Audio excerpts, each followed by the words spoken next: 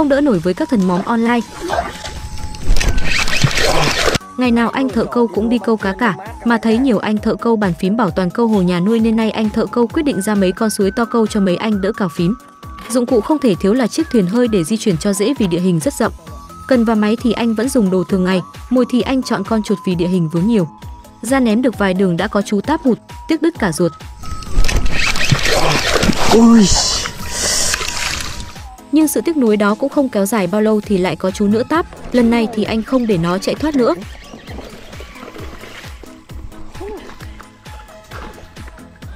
Anh tiếp tục chèo thuyền đến chỗ nhiều cỏ này ném thử và lại có thêm chú nữa táp mồi của anh. Anh cũng nhẹ nhàng hỏi thăm bằng một cái giật hết sức khiến chú ta bay lên bờ ủ muối luôn. Thêm ít lá cọ vào nữa thì mấy chú cá này đã toát ra mùi thơm không thể cưỡng nổi. Bây giờ bị là là chuyển thôi các bác nhá.